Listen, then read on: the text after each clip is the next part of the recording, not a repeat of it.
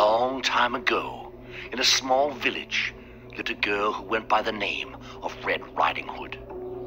After asking many people from the village to help her go to her sick grandmother's cottage, no one volunteered.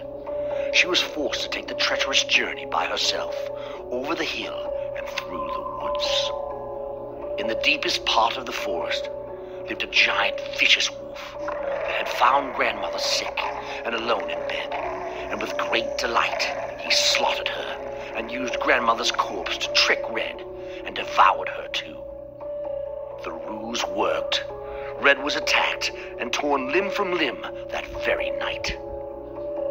This story has been told many times, but what you may not have heard is what happened to Red after she arrived in the afterlife.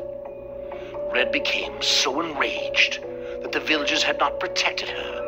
She recruited every dark creature and vicious beast to help her reap her revenge. Tonight, as you make your journey through the infamous village, evil creatures of every kind are stalking the villagers and you. Keep together, for in numbers you are. Wait, did you hear something?